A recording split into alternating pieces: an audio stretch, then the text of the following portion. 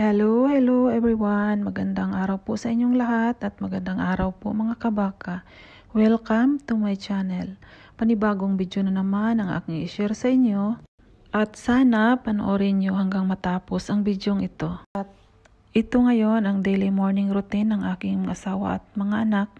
Manguha ng napier grass para sa buong araw na budget para sa aming tatlong mga baka.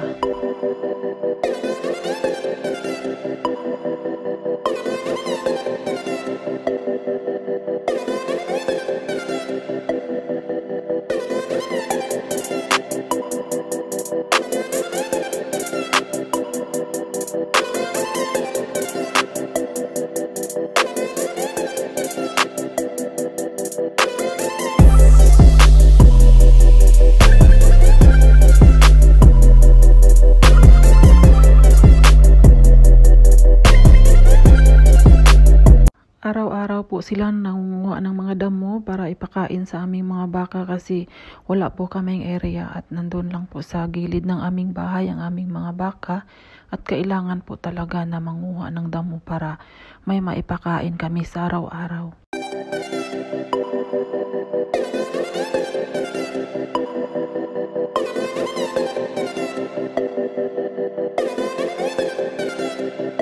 At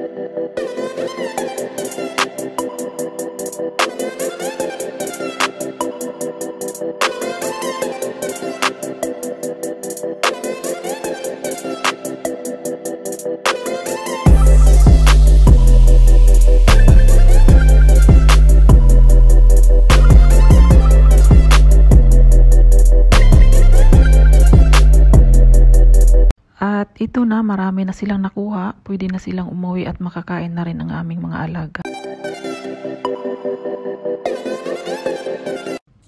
At ito na, kumakain na sila. Ito lang po ang kinakain nila araw-araw. Kailangan talaga ng sipag, sipag at tiyaga mga kabaka. At kailangan talaga manguha ng kumpay kung sa Bisaya pa.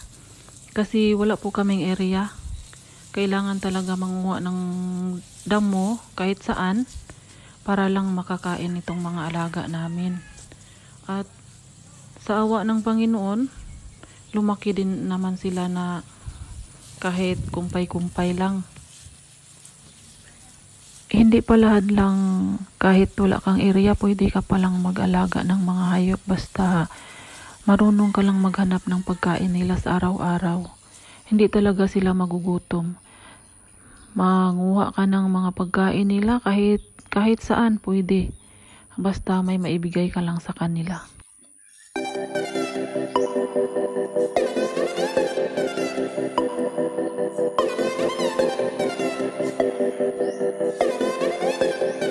At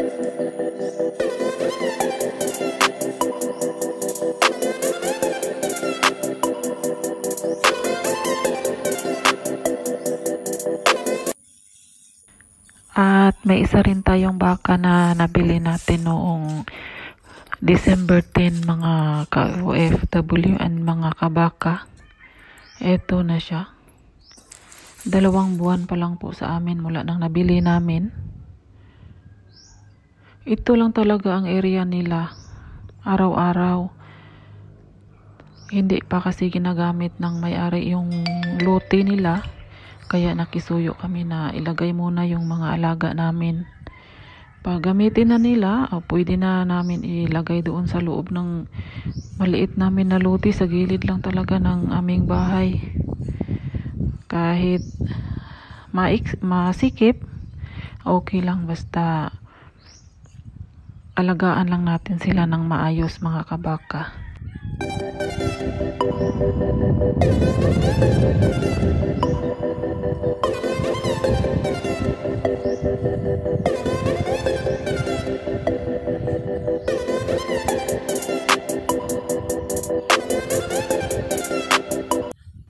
yung pangatlong baka na nabili natin noong January 21. Maliit lang siya pero maganda naman yung katawan niya. Ito yung na-upload ko noong nakaraang araw. Malakas naman siya kumain. Kaya sa ating lahat, libre lang mangarap, pwedeng mangarap. Kaya hanggat may goal tayo sa buhay, magtiyaga tayo para doon sa ating mga pangarap, mayroon talagang magandang patutunguhan. Yan lang muna ang aking ma-share sa inyo mga kabakaan, mga ka-OFW. At maraming salamat po sa panonood ng aking video. Hanggang sa susunod, ingat po kayo palagi. Thank you for watching. God bless po sa inyong lahat.